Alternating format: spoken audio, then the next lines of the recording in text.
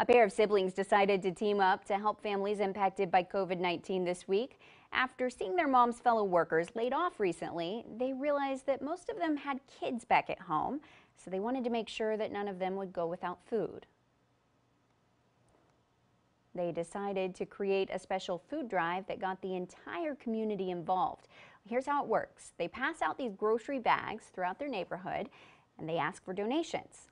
Later, they go back to collect the grocery bags and they drop them off to the Central Texas Food Bank. KXAN photojournalist Alex Hoder got a firsthand look at the unique operation. Yeah, we started passing out bags on Thursday.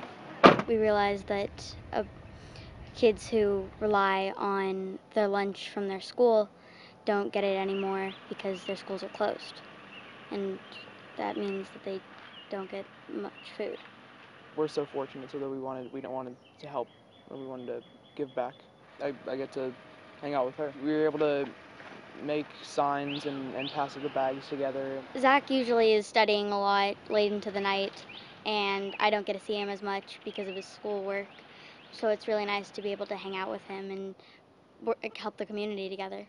We were able to deliver about 100 bags, which is great, and just in our neighborhood. So we can think about expanding and, and branching out to the other eighth graders and other fifth graders and all, all kids across Austin.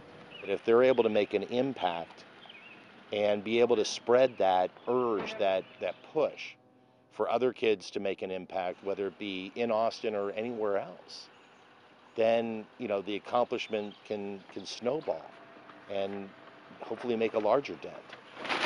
And there's always going to be a need, so if we can just help out a little bit, then that's that's great. You know that you're helping the community and that you did it and that the world is a little bit better because you had the creativity to do something about it. Any anything that you can do to help you you can do. It's it's it it doesn't take that much work to make a difference.